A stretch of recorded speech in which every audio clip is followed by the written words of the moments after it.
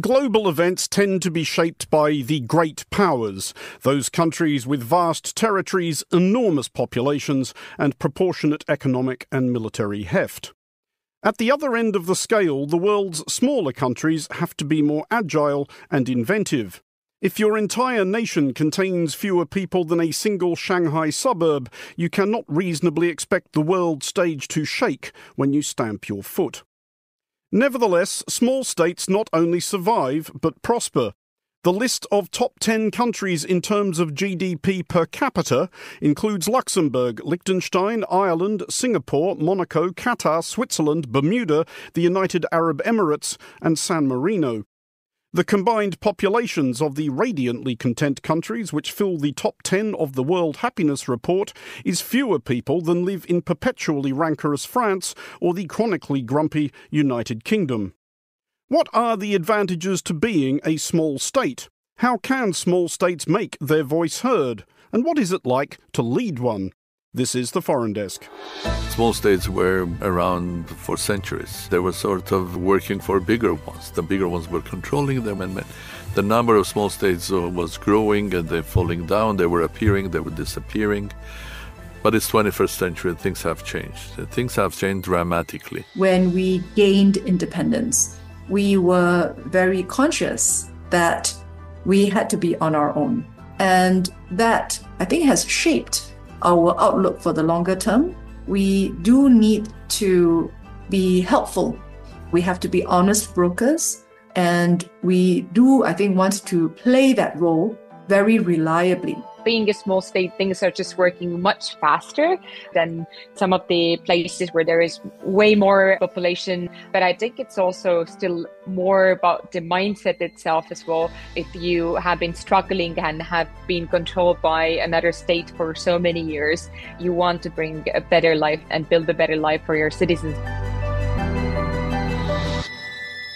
You're listening to the Foreign Desk. I'm Andrew Mueller, and I'm joined first of all by the former head of one small state, President Armen Sarkissian of Armenia, who held the office between 2018 and 2022.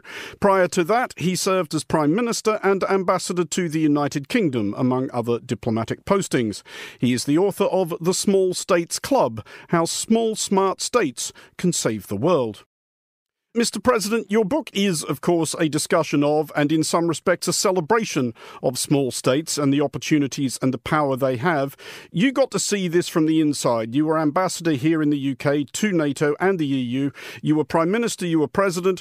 Did it occur to you often along that journey that you had the ability to do things and act in a way that perhaps a leader of a huge power couldn't? Did you feel like you had a certain freedom? I think I, I, could say at the beginning of my diplomatic career, I was scientist when the Soviet Union broke down, and I was, in fact, in London working as a visiting professor. Also at the School of Mathematical Sciences here in London University. I was enjoying working here. Then Armenia became independent. I had some small contribution in helping guys to make Armenia independent, but when Armenia became independent and the first president of the republic very early days offered me to help to establish an embassy here. I took that as an honor. So mm. I hmm. got a piece of paper called saying that I'm in charge of affairs of Armenia. I'm in the charge d'affaires. And with that paper, I went to Foreign Office and got a lot of understanding and kindness and support, to be mm-hmm. honest. I was physicist. I could teach anybody at the Foreign Office mathematics and physics.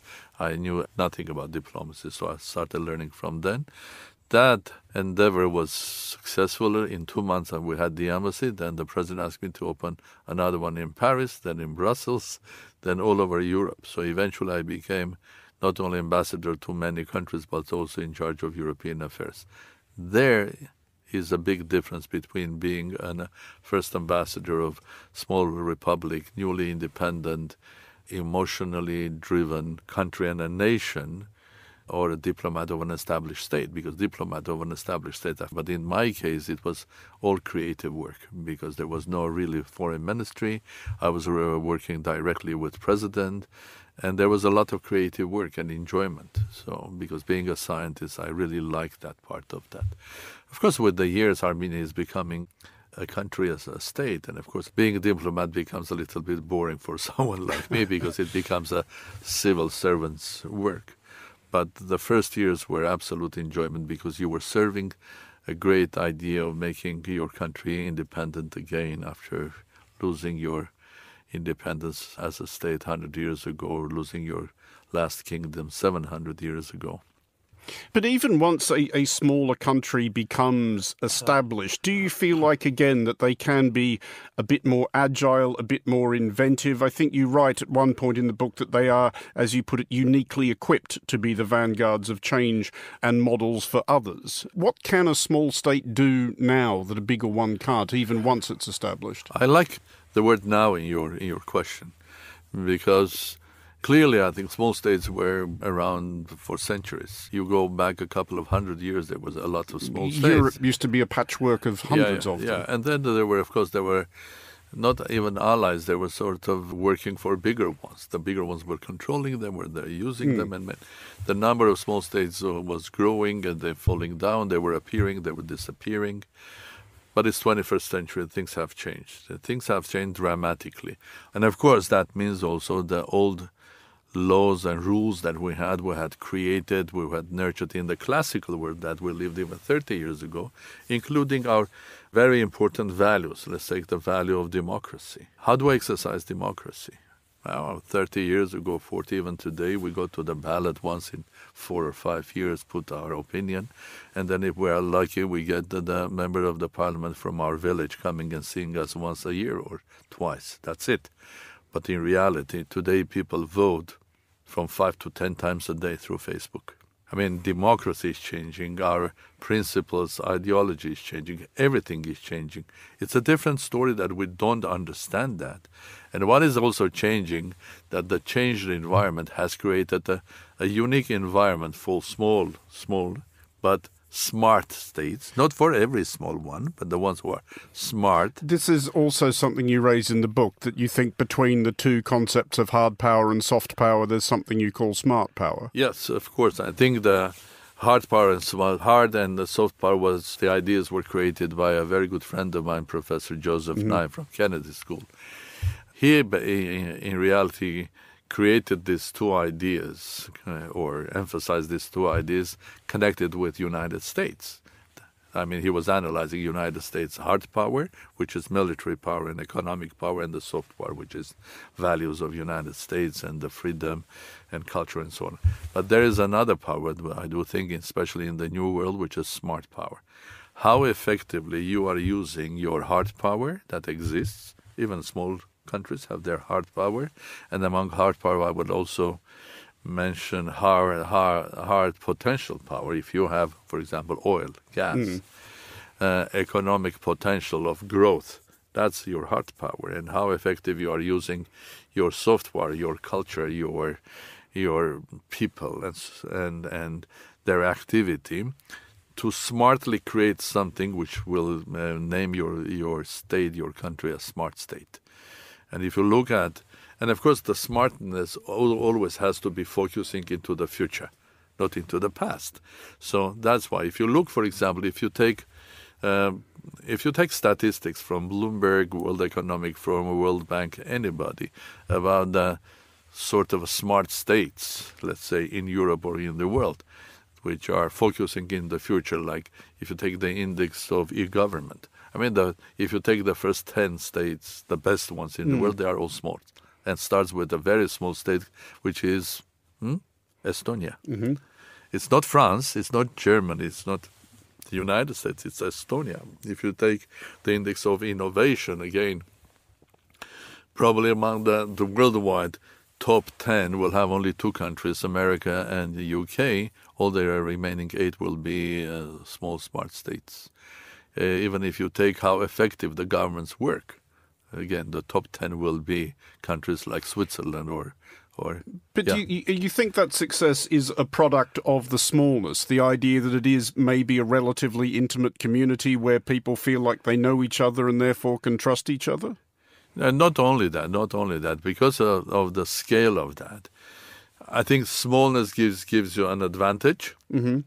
Smallness, of course, it's it's it's somehow I can say I have been a prime minister and president of a small country compared with the problems of a country like Russia or United States. It's very complex. It's complicated. The number of people is is having huge impact on on it. Of course, the smallness, the smallness makes you operating in in an environment where you can make sharp decisions, and it doesn't it doesn't mean that if you are small, you are not complex enough or you cannot be complicated enough. I've seen in my life states that have 25,000 citizens and their parliament was as corrupt as anything in the world. So I think smallness doesn't guarantee you, but obviously. And don't forget that in this new quantum world, except the smart small states that are dominant, they are very important.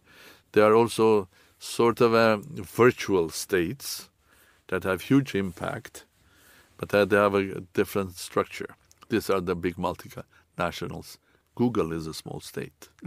Apple is a small state. Do you like it or not? And it's a question who has more influence, Facebook on U.S. government or the other way around.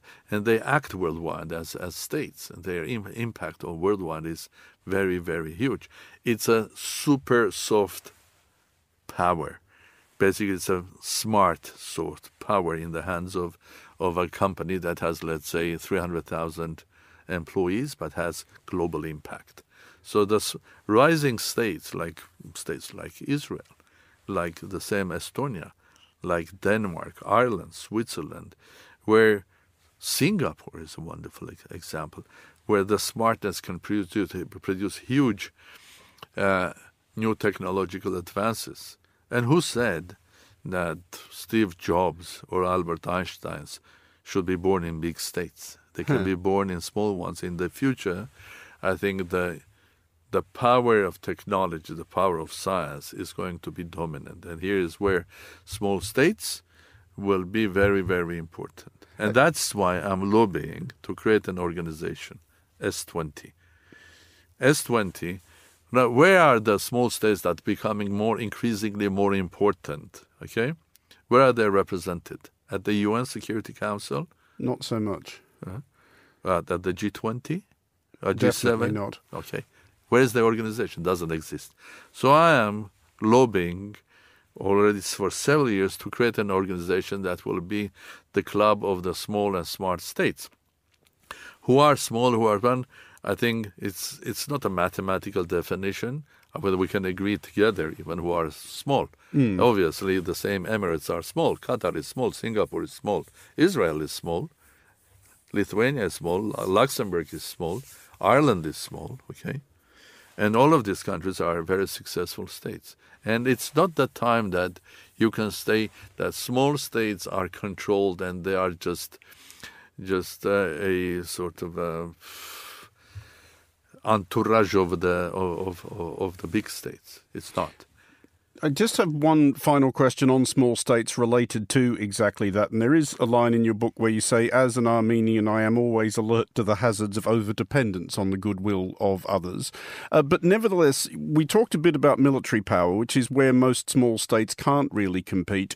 If the world becomes increasingly, uh, I guess, dominated by big powers like the United States, India, China, is it possible for a small state to survive long term without a patron of that sort? Does it need to be allied to one of the superpowers? The answer is yes. Uh, and the examples are several of them. Mm. And the, the, the, sort of a brightest example today is, is Israel. Okay, everybody, a lot of people will say that the Israel has a patron, which is the United States. But does the United States run Israel? The answer is no. Mm. Okay, so that's an example. Secondly, when we're speaking about military power, economic power. First of all, economically, a small state can be as, first of all, if you look at the GDPs per capita, a lot of the small smart states far ahead than big states. So people live much better in mm. small and small uh, smart states. Secondly, future military power will depend on science. And a small state can have so powerful military presence with artificial intelligence. So you don't need for example, 100 million population to have an army of a million, because that army of million can consist of drones. This is an update of the mouse that roared. Yeah, mm. that's so. You can be a small state, but you can have so powerful solutions of artificial intelligence.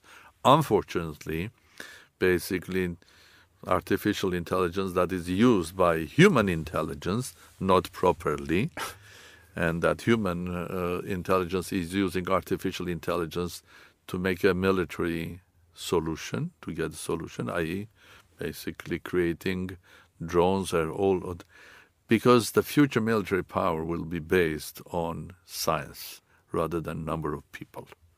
The number of people will be compensated by number of robots or the drones and everything else. And a small state that has the power or a solution or a Steve Jobs being born in a small, smart state and creating something.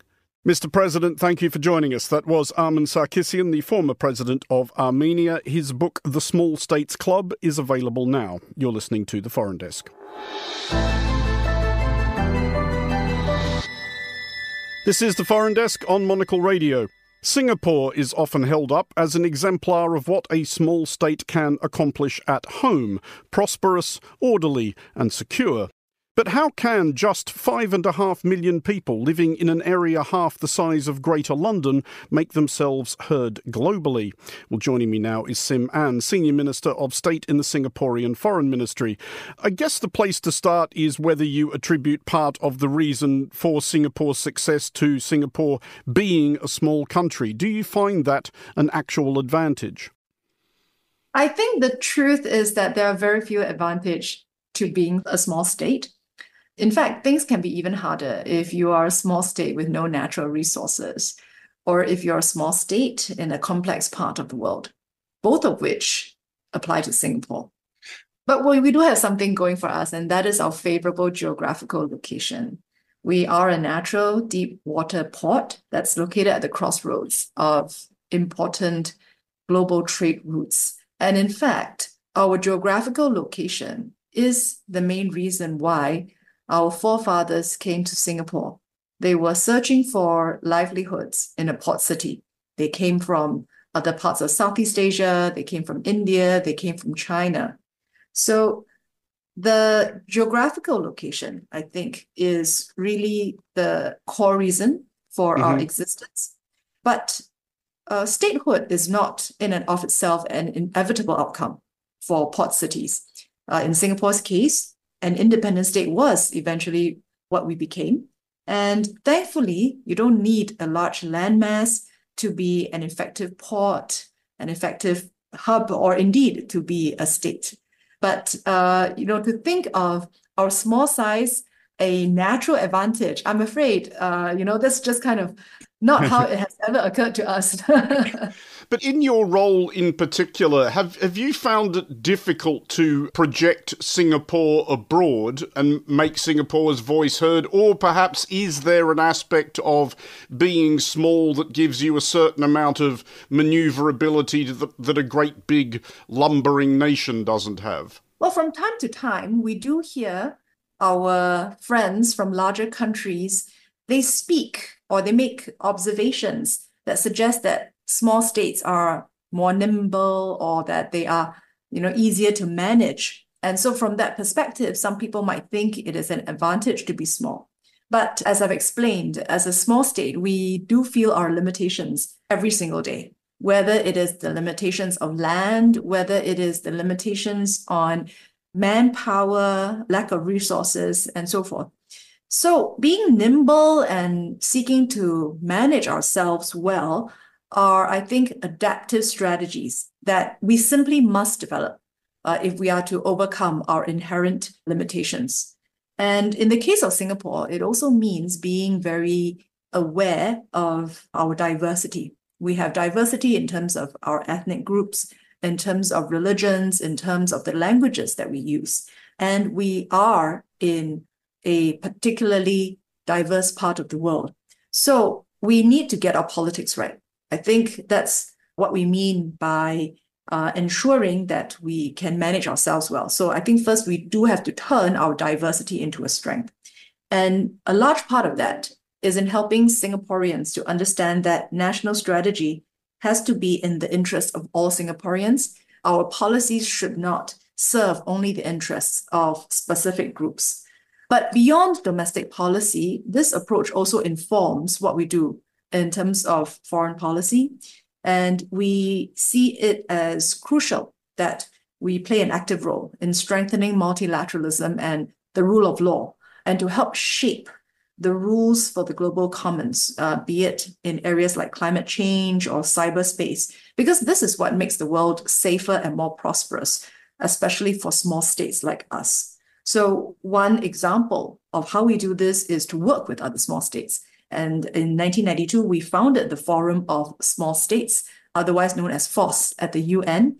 And uh, it comprises countries with a population size of less than 10 million the group started with 16 members in 1992, but now it has 108 members. And this has been a very useful forum for fellow small states to exchange notes on developments and also to cooperate with one another.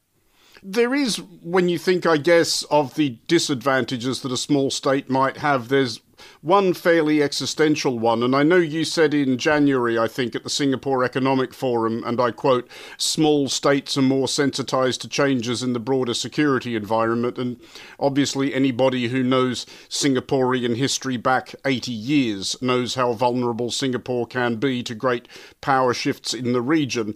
But is it nevertheless important for a small state to create the impression that it does take its own defence seriously? Some do, uh, Singapore being one of them, others don't. Costa Rica and Iceland, for example, don't really have standing militaries of their own. But why is that important to Singapore to make it look like you do take your own defence seriously, independent of any alliances? I think this goes back to our experience when we gained independence, we were very conscious that we had to be on our own, that no one was going to, you know, look after us, especially, and that we had to be responsible for our own defense, for our own foreign policy. And I think that very difficult start to nationhood, I think, has shaped our outlook for the longer term. We understand the importance of creating relevance for the rest of the world because I, we, we don't see ourselves as, as having inherent relevance to the region or to the world. But at the same time, I think we do need to be helpful as a trade hub, as a port city. We have to be honest brokers. And we do, I think, want to play that role very reliably. And this is also the, the reason why our commitment to rules based trade is very strong. And this is something that we, in our own modest ways, we seek to strengthen. On that subject of creating relevance, because this I know is something else you've said that small states do depend on a rules based order, and that's I guess, fairly self evident because in a world in which only the strong were allowed to survive, then small states wouldn't. But as a small state, how do you advocate to the big countries for the preservation and upholding of that rules based order? I mean, what's in it for them? Well, I think as a small state, clearly what we can do is limited because our resources are limited. But where we can help strengthen the multilateral system, where we can help make the structure stronger, I think this is where we can make an impact. I can give you a few examples. Uh, mm-hmm. For instance, Singapore has been very closely associated with the UN Convention on the Law of the Sea, or UNCLOS. And in particular, our ambassador, Tommy Koh, he presided over the third UN conference on the law of the sea from 1981 until its conclusion in 1982. Now, this is, I think, not just an important piece of international law, which it is, it has a special significance for Singapore because maritime cooperation is so critical to a port city. And mm-hmm. we've not stopped there, we've built on that. Uh, for instance, in March last year, our ambassador, Ms. Rena Lee, she also presided over the successful conclusion of negotiations on a new international agreement on the conservation and sustainable use of marine biodiversity in the high seas, otherwise known as the BBNJ agreement. And that builds on the framework that was laid down in UNCLOS. But we also are active in other areas. For instance, our ambassador, Burhan Ghafoor, uh, is our current permanent representative to the UN in New York. Um, he has been chairing the UN Open Ended Working Group that is developing rules and norms for responsible state behavior in cyberspace. So, this is our approach, where there is already a set of global rules or shared rules. Let's make them stronger. And in areas where rules have yet to be developed, or where more foundational work um, needs to be done, I think you can count on Singapore's active participation because with this, then I think we are really walking the talk and ensuring that multilateral mechanisms are well shaped and can help to safeguard the safety and prosperity of all. But that's particularly important to small states. I mean, Another big question to go out on then how careful do you need to be about managing relationships with the big powers in your part of the world? And I guess for Singapore, is it important to be seen not to be picking a side too obviously in disputes between China and the United States, with both of which Singapore generally enjoys reasonably good relations? I'm glad you asked that, Andrew. There is, I think, a perception that Singapore's foreign policy is based on maintaining some kind of balance in terms of our relations with big powers, or some people even described it as some form of neutrality. But I think that's a bit of a misreading of mm-hmm. our approach.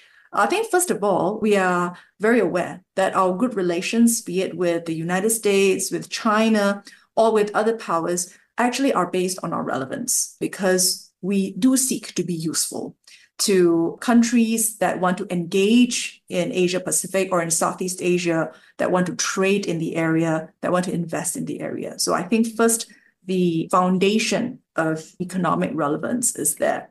And we are also very clear about our interests. We are for the political independence, the sovereignty, and the territorial integrity of all states, including, and I can say especially small states because we're one of them, and for rules based, open, multilateral trading order. That's also very important to us. And I think these are the basis on which we build our relations with powers, whether they are larger or whether they are not so large. Being able to trade being able to do economic collaboration or more than economic collaboration with regard for the maintenance of regional peace and security is paramount to us. So if these interests are met, then we are able to have very good relations with like-minded countries and powers. And fortunately, I think for much of the period, I think post Vietnam War, indeed these conditions were present there has been very widespread commitment to peace. There's been widespread commitment to development. And I think in that kind of an environment, then it is possible for Singapore and indeed for other countries with similar interests as us to have and to sustain good relations with many large powers. Sim Ann, thank you very much for joining us here on the Foreign Desk on Monocle Radio. You're listening to The Foreign Desk. I'm Andrew Mueller. Estonia, like its two Baltic neighbours, demonstrates that small states can flourish even in the least encouraging circumstances, i.e., right next to a vast, powerful, hostile, and recurrently predatory neighbour. I'm joined from Tallinn by Anett Numa, Head of Government Relations at Accelerate Estonia and a former advisor on cyber defence for Estonia's Ministry of Defence. Anett, the obvious place to start is with the advances Estonia has made in the digital realm. If you measure your country against the global average, how advanced is Estonia in terms of digital infrastructure, cybersecurity, and so on? Well, I could give you a very boring answer here and like kind of list a lot of different kind of rankings and say like how awesome we're doing in terms of different rankings. But I think more important thing, and since the very early days that we started already building all of our digital services, was the aim to do it. And if I could compare with some of the other states as well, I think we're very far ahead when it comes to really modernize the entire like the public sector itself or even like promote transparent democracy uh, that is built on trust. I think that's even more important. And also just kind of foster our economical development because when we think about being a small state, it's very, very hard to have enough money and budget for everything. So that's why I think when it comes to our digital transformation, the biggest or the most important aspect there is that we actually have managed to foster our entire economical development here since we came from and we're occupied by Russia and Soviet Union. So I think that's very, very important. And just the way we think, I think it's very, very different. And of course, all of the other countries are very quickly also trying to implement their strategies as well and they have been able to start like just also maybe five ten years ago and completely different technologies that we we use but i think it's just the entire initiatives and our id and infrastructure and the platforms and everything are still very efficient and we're still the forerunners in that terms as well. And and one of the uniqueness that i would like to bring it out here is that we've never done that just alone but the key element there that why we might be still ahead of a lot of countries is that we are still doing most of the things together with the private sector who is always one step ahead of public sector. So it's a big collaboration there I mean, you're quite right to cite the speed and scale of the transition Estonia has made. I mean, for those of us who can remember visiting it very shortly after it regained independence, the difference between that and what Estonia is like now seems much, much further than 30 years apart. What we're trying to establish, though, is the degree to which you think that was enabled by Estonia being such a small country. And to remind our listeners, Estonia is a very small country, about 1.35 25 million people. In fact, by most measures, it would be quite a small city. But has that smallness been an asset to Estonia in emerging from the Soviet Union and re establishing itself?